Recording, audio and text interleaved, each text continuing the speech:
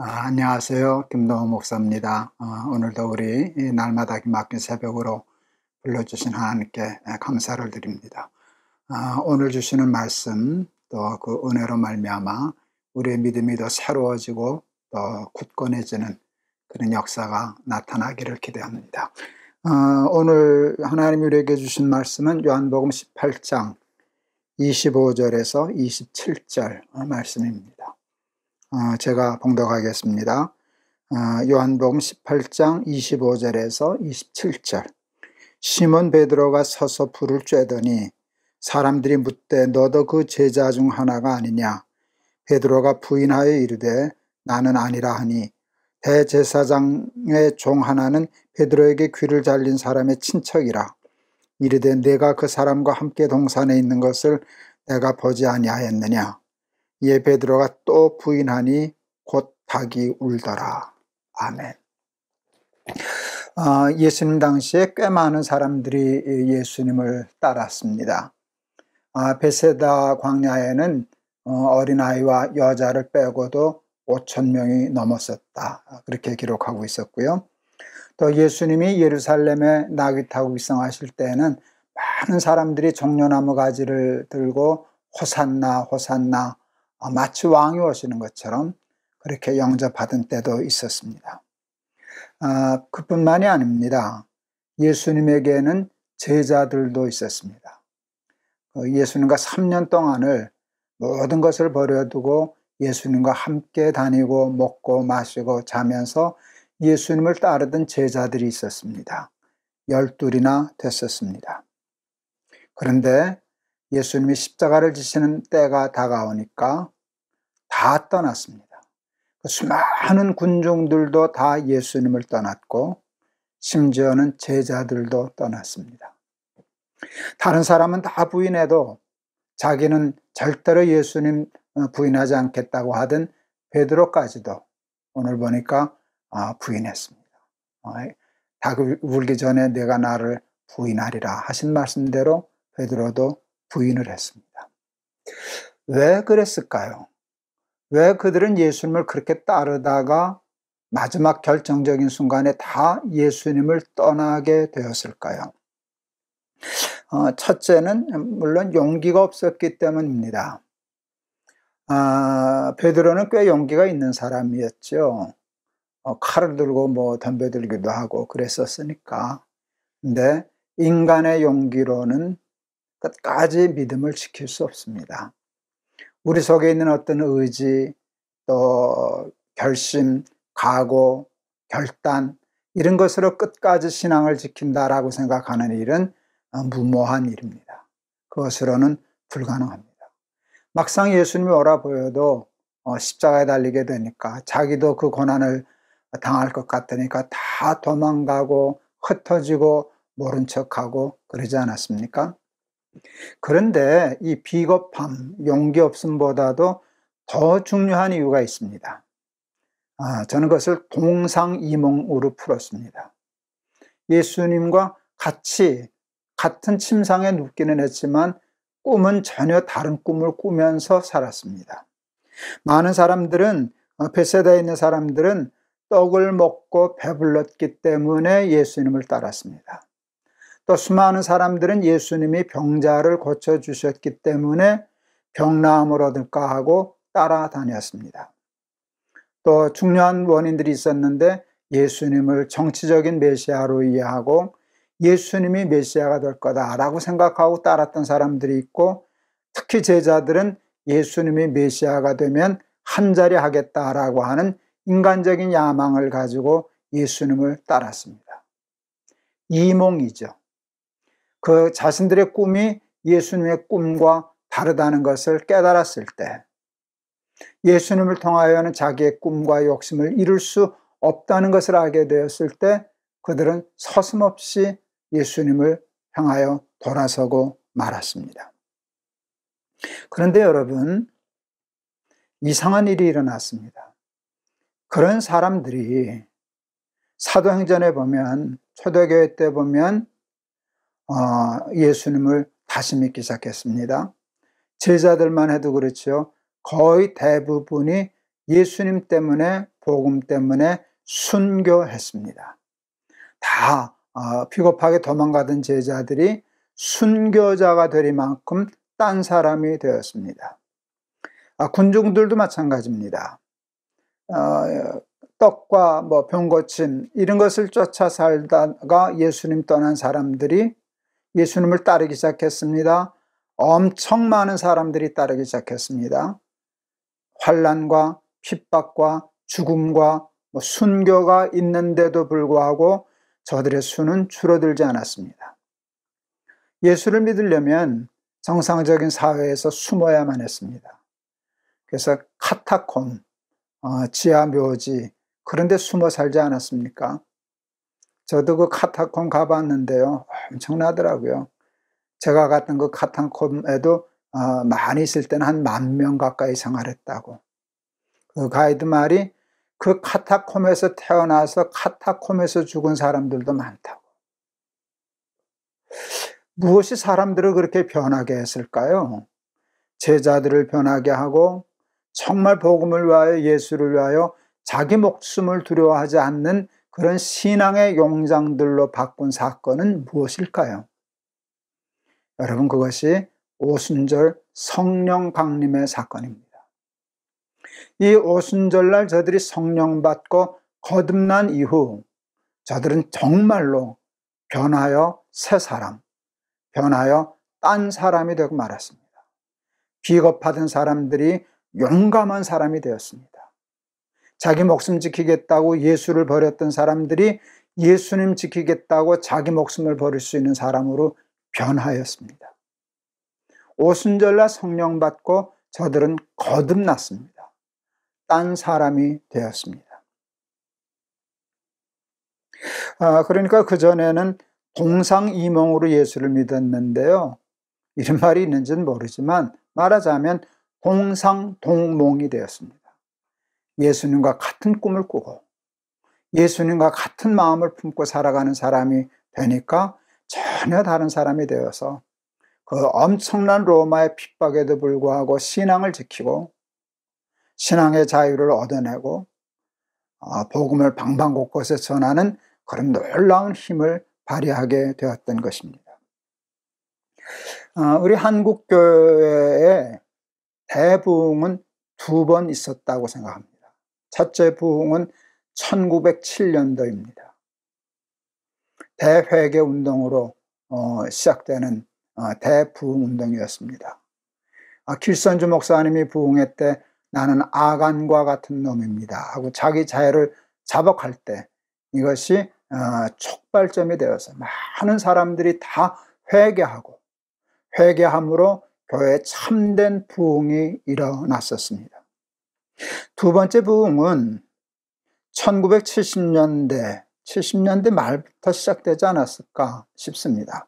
그래서 80년대 불어닥친 한국교회 부흥입니다. 그게 공교롭게도 제가 신학을 마치고 신학교를 졸업할 때였습니다. 제가 1978년도 신학교를 졸업했는데요. 그때 엄청나게 교회들이 부흥했어요. 보통 웬만한 교회들은 배가 했어요. 그리고 대형 교회들이 생겨나게 되었어요.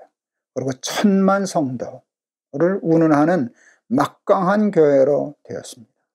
그런데 이 두 번째 부흥은 무엇을 통해서 우리 한국교회에 일어났나라고 할 때 이제 보는 사람마다 판단과 생각은 다르겠으나 제가 볼 때 오순절 사건과 같은 초대교회 사도전에 나타났던 교회와 같은 현상은 아닙니다. 한국교회가 다 성령으로 거듭났기 때문에 성령을 받았기 때문에 일어난 부흥이 아니라 한국교회 그 부흥은 좀 비판적으로 부정적으로 평가한다면 여러분, 기복신앙과 무관하지 않습니다.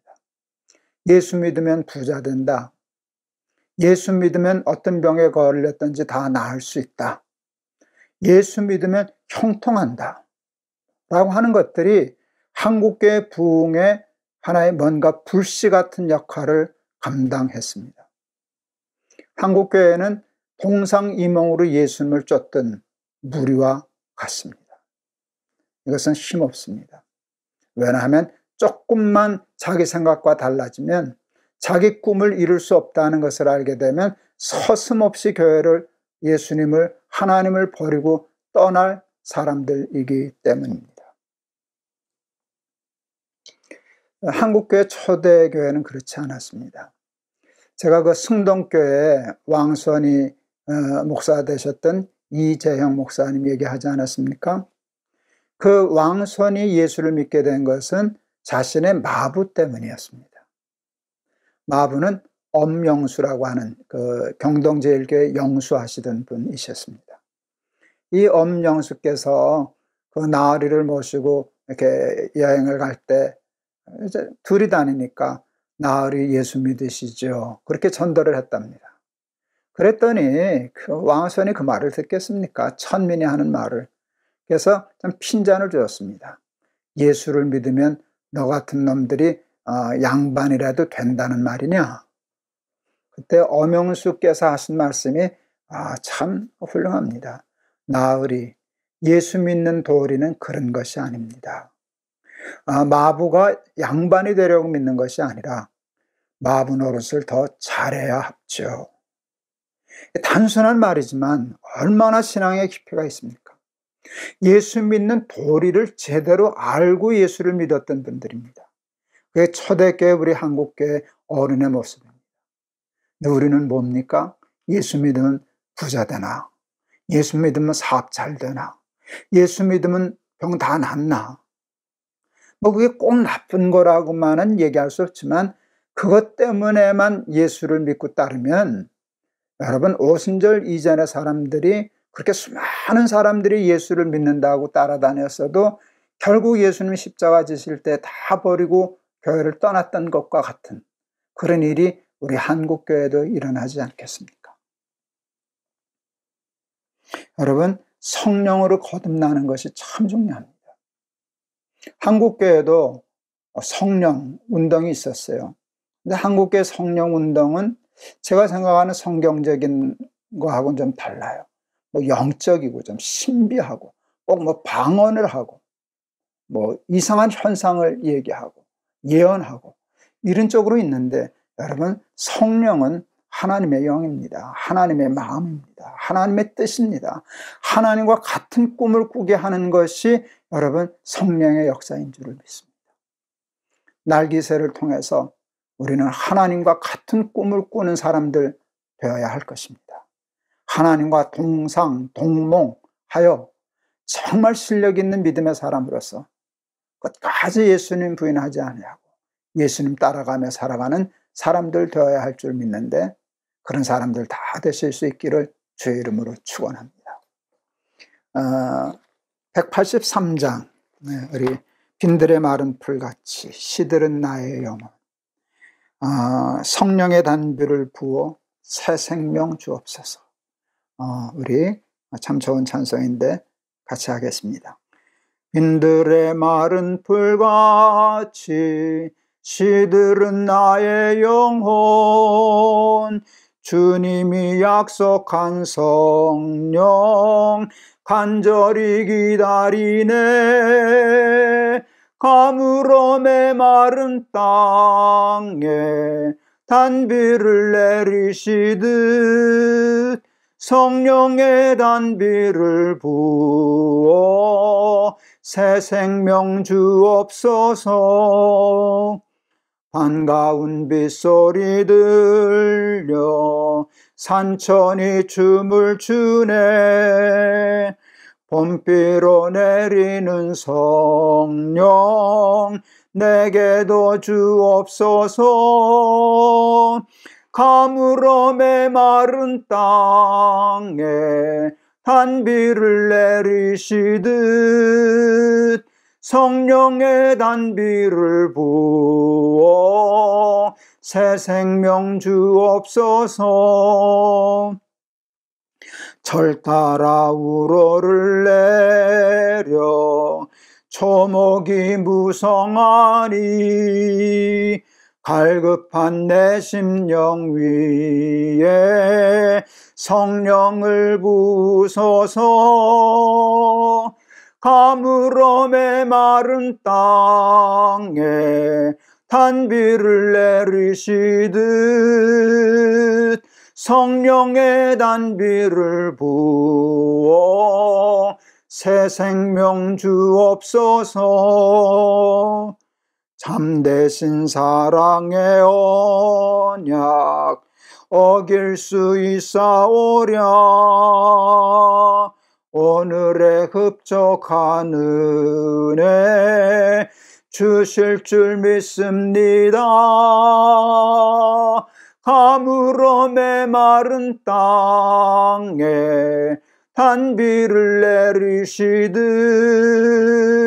성령의 단비를 부어 새 생명 주옵소서 아멘 기도하시겠습니다 수많은 사람들이 예수님을 따랐습니다 그 중에는 제자들도 있었습니다 근데 예수님 십자가 지시려고 하는 그 중요한 때에 다 떠났습니다. 하나도 남지 않고 다 떠났습니다. 다른 사람은 다 예수를 부인해도 버려도 자기는 결단코 부인하지 않겠다 하던 베드로까지도 결국 예수님을 부인했습니다. 그런데 그러던 사람들이 다 변했습니다. 제자들도 베드로도 순교하였습니다. 또 제자들 아닌 교인들 중에도 순교한 사람이 얼마나 많은지 모릅니다. 예수를 믿으려고 하면 부귀와 영화와 쾌락, 세상적인 것들 다 포기해야 되는데 카타콤에서 살아야 하는데 저들은 예수님을 따랐습니다. 오순절날 성령 받고 거듭났기 때문입니다. 전에는 동상이몽의 신앙이었지만 오순절날 성령 받은 후에는 예수님과 같은 꿈을 꾸는 사람들이 되었기 때문입니다. 하나님 날기새 시간을 통하여 이 시간 주시는 하나님의 말씀을 통하여 성령으로 거듭나게 하옵소서. 하나님과 같은 꿈을 꾸는 사람 되게 하여 주시옵소서. 예수 그리스도 이름을 받들어 기도하옵나이다. 아멘. 아, 여러분 감사합니다. 하나님과 같은 꿈을 꾸는 사람이 되어야 끝까지 예수님 버리지 않고 예수님 쫓는 예수님의 참 제자가 될 줄을 믿습니다. 우리 날기새를 통하여 매일 접하는 하나님의 말씀을 통하여 성령의 충만함을 받고 거듭나서 하나님과 같은 꿈 꾸면서 살아가는 이 시대의 구르토교와 같은 우리 저와 여러분 되시기를 바랍니다. 여러분 사랑합니다.